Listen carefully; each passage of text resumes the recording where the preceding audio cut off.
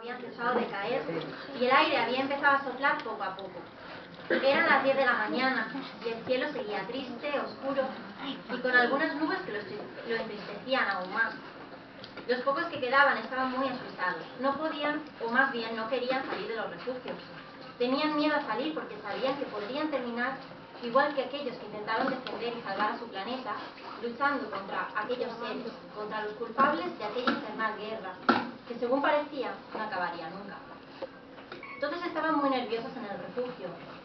Algunos de los más pequeños corrían y jugaban dentro de sus burbujas intentando olvidar lo que pasaba afuera. Otros narraban historias que les habían contado los más ancianos del lugar, historias sobre seres que vivían en planetas muy lejanos al suyo, historias tan fantásticas e irreales que más bien parecían leyendas. Eran historias los Goligans, sobre los humanos, sobre los marcianos verdes que habían destruido planetas enteros. La pequeña Gurindungi no sabía muy bien lo que pasaba, pero aún así tenía miedo, y las historias que contaban sus amigos no le ayudaban a superarlo. Su tío le había dicho que estaban en guerra, pero lo que no le había dicho nadie era por qué.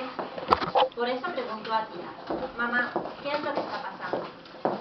Cariño, ¿te acuerdas de cuando me preguntaste qué era un Goligan y no te quise contestar? Dijo su madre mientras le acariciaba la cabeza. Sí. Bien, pues creo que ya es hora de que lo sepas. Un Goligan es un ser peludo, con cuatro patas, aunque casi ninguno a las cuatro, porque la mayoría caminan erguidos sobre las dos traseras, y poseen una gran boca con muchos dientes afilados. Aún así, lo malo de ellos no está fuera. Te he dicho miles de veces que lo bello de cada uno está en su interior. Pero estos Goligans son muy cabezones. Cuando se enfadan no hay quien les haga cambiar de idea, aunque estén equivocados.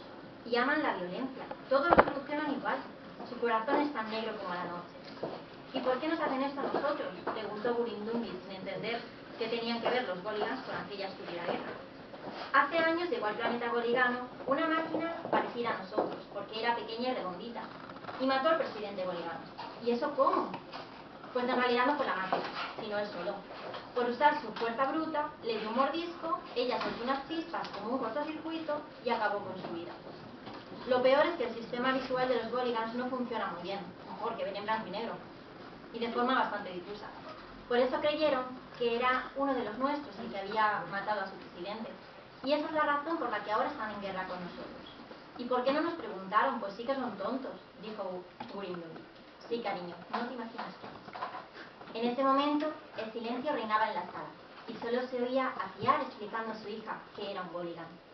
Las bombas habían dejado de escucharse fuera.